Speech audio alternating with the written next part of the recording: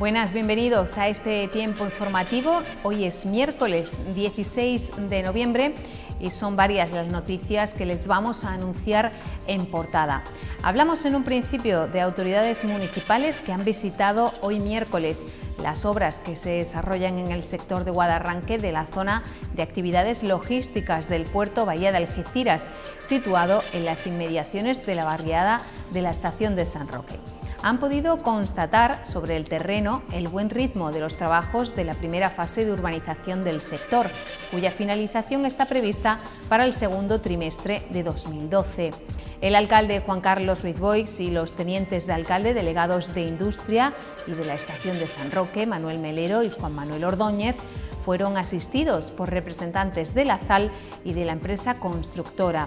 Tras inspeccionar los planos y escuchar las explicaciones de los técnicos, el primer edil recordó que la Junta de Andalucía ha invertido 24 millones de euros en preparar esta urbanización para el asentamiento de empresas dedicadas a la logística, que van de la mano del puerto Bahía de Algeciras.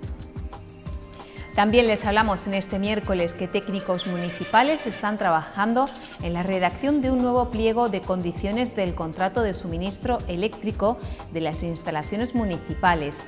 El objetivo es la reducción del gasto eléctrico del ayuntamiento entre 100.000 y 150.000 euros anuales.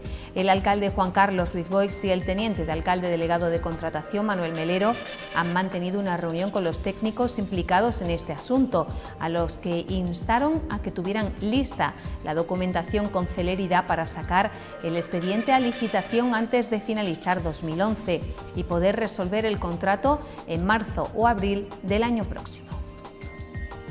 El programa de creación de empresas dirigido a mujeres emprendedoras comenzará la próxima semana en el edificio municipal de servicios sociales. Mañana jueves se realizarán las primeras entrevistas de selección de candidatas, pero sigue abierto el plazo para inscribirse a esta iniciativa gratuita que tiene como objetivo ayudar a poner en marcha una empresa o mejorar la gestión de una ya existente.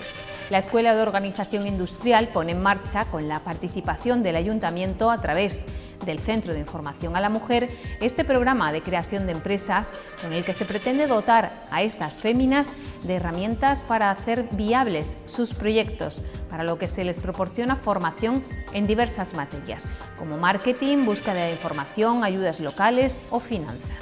La concejal delegada de Servicios Sociales e Igualdad, Ana María Rojas, ha apuntado al respecto que en la actualidad hay apuntadas 17 mujeres, mujeres a este programa.